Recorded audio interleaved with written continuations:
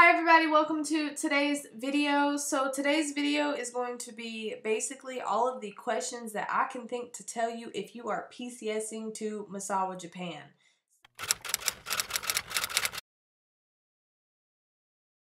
Misawa is a very small city. So if you come here, you have to have an open mind. This is not going to be one of those cities where everyone loves it here and everyone hates it here. So before I even answer any of these questions, if you come here with the preconception that this base is going to be a shitty base and you're going to hate your life here, that's exactly what's going to happen to you. So come here with an open mind it's not as bad as everyone makes it out to be, I pinky promise. I came from a bigger base and I quite honestly love Misawa a lot better. It is what you make it. I'm going to try to answer all the questions that I knew I at least had when I came here and I also talked to my boyfriend and he gave me a few ideas too. So I hope that this video helps answer a lot of questions, but I don't know if it will answer them all, so please feel free to go ahead and leave questions down at the bottom and I will try my hardest to go ahead and answer them as best as I can. If you are single and you have been in three years or more and you are at least an E4 or above, you can live off base. If you are accompanied and have dependents, you will have to live on base. If you are a single airman and you're E4 and below and have not been in three years, you will most likely have to live in the dorms. It's really not that bad. I've seen the dorms. You get your own room. You get your own bathroom. It's a pretty decent sized room living on base, basically what it is is you're going to live, if you've lived on base before, you probably already know this, but to answer questions for maybe someone who is newlywed coming here or whatever, what you're going to get is you're, you're not going to get your OHA, you're still going to get your COLA, you're still going to get your BAS and all of that. And you are going to have your own house and you don't have to pay any bills for that house because they basically take your OHA as payment of the house which can in turn actually save more money than you would think because if you live off base, you get only the allotted amount. I believe when I, I got here a year ago and I believe at the time it was 160,000 yen is the max that you can go.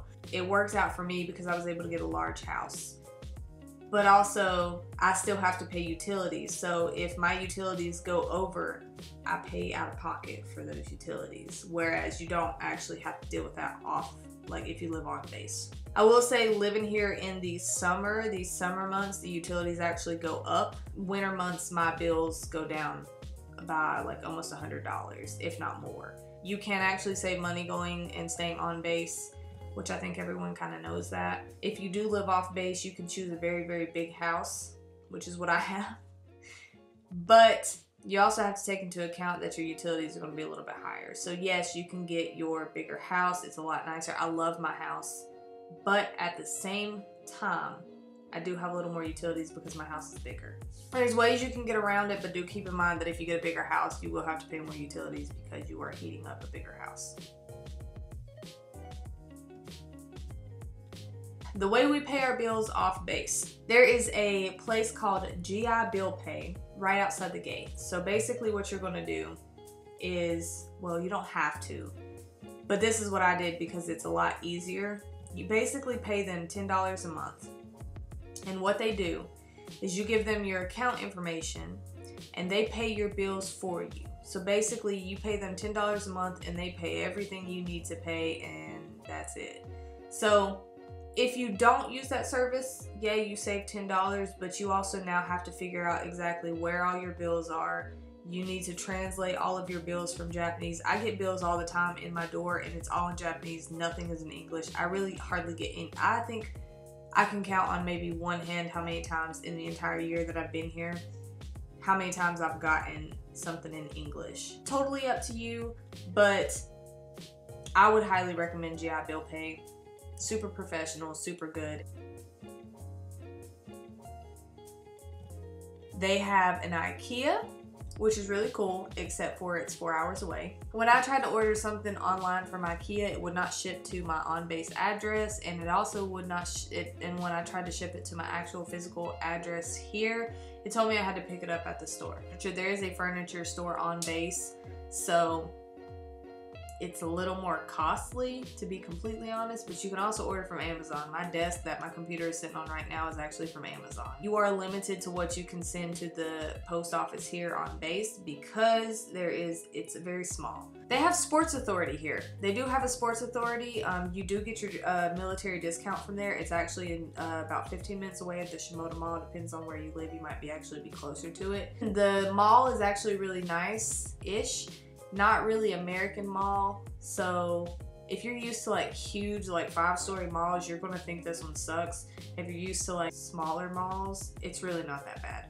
There's not really a whole lot that we ever go there for except to go eat that there's um, a food court there. A lot of stuff though you can get on Amazon and Amazon ships here really fast so don't get discouraged that there's nothing here. The BX also is really small. I'll go ahead and warn you guys that that too. Um, they have everything that you need but they don't have a large selection. If there's anything that you want to buy from the BX website they will ship it here and you can get it that way. So don't get super discouraged. McDonald's, they have a McDonald's here.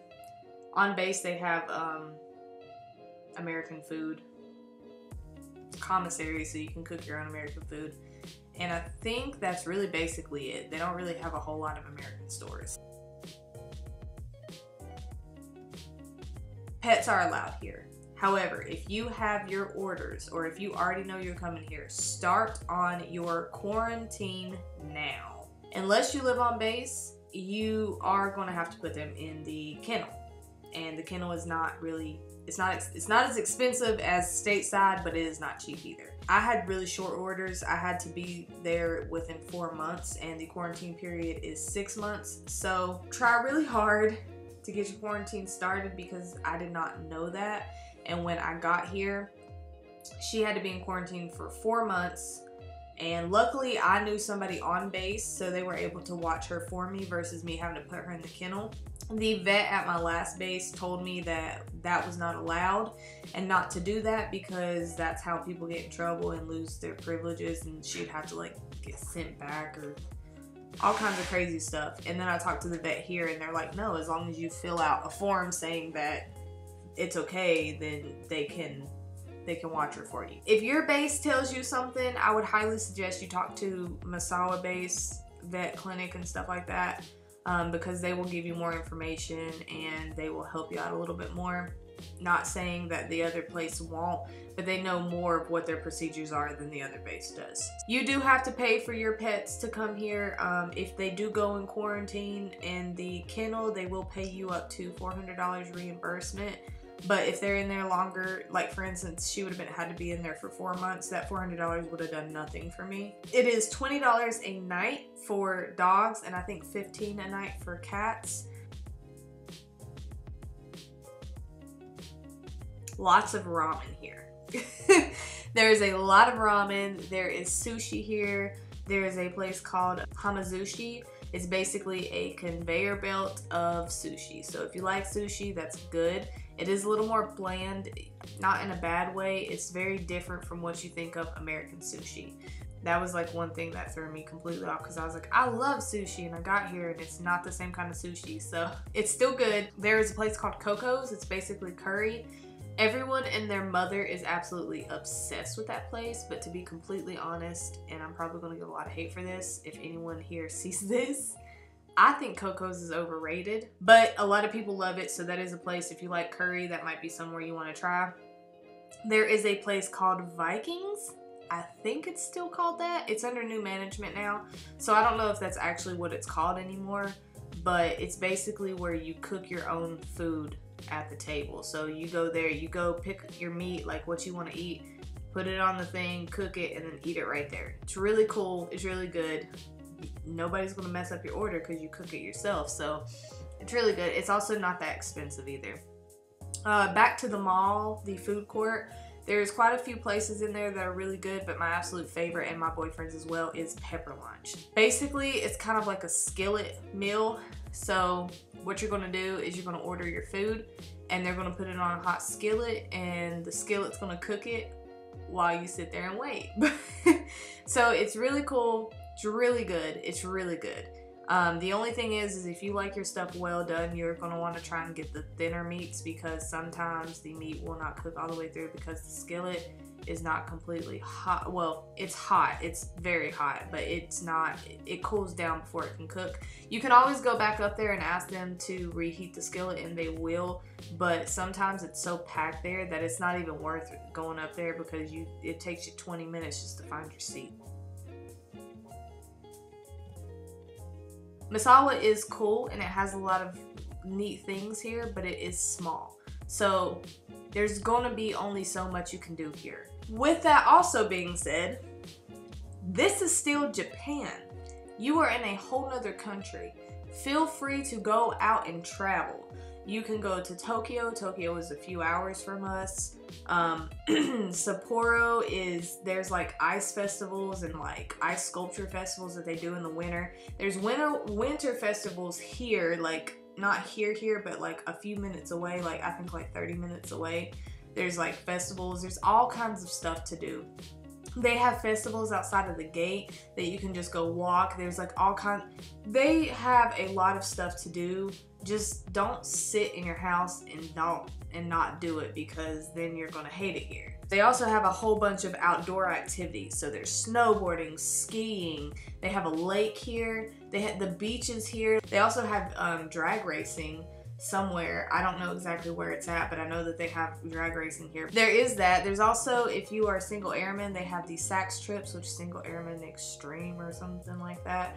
And then they have the ITT trips as well. So basically, I have seen they have cruises. I have seen where they take you to Tokyo for a week. They take you to Mount Fuji that and it's a lot cheaper than if you paid out of pocket. So if you come here and you don't have a lot of friends, try those trips. You don't want to go travel by yourself, like you don't have to because they have trips that you can go take. It snows a lot. I'm sure there's probably like five people or 500 people that have already told you that, but it definitely snows a lot. It's not that bad. The only issue is, and I will really warn you, is to be careful when you're buying your car because a lot of people tell you to get your car and make sure it's good in snow, which I highly agree with. However, a lot of the off base issue is still ice. They do salt the roads on base, but they do not salt the roads off base. So still be very, very careful. They do have a winter briefing. Um, I think it's already over. So if you're coming here in the winter, but it's it's after now, they don't have a winter briefing, but they do have one that they it's mandatory. If you didn't go to the first one, you have to go to the next one because they do give you really good tips on how to make sure your tires are good, how to make sure to drive in the snow. Obviously, be careful um, to make sure that when you go out and do trips and stuff that you you stay safe. Other weather, it does get warm here in the summer. It does you can wear shorts and stuff, but it does say it does stay winter here for a while. So it usually starts snowing I think in November-ish. And it probably stops around April. Sometimes it might still snow in May but it does stop around April, I believe. Um, it might. It this year it actually has not been that bad. It hasn't, it snowed a little bit, but not nowhere near what it did last year. So I don't know if that means it's going to snow worse later on or what, or if it's just not going to be that bad of a winter. If you have any kinds of winter clothes, I would highly recommend that you bring it. And if you have summer clothes, don't be discouraged because you can still use them For your cars, there is the lemon lot on base, which is where I bought mine. It just means that someone here had their car and they're selling it to you. Usually you can find them cheaper there.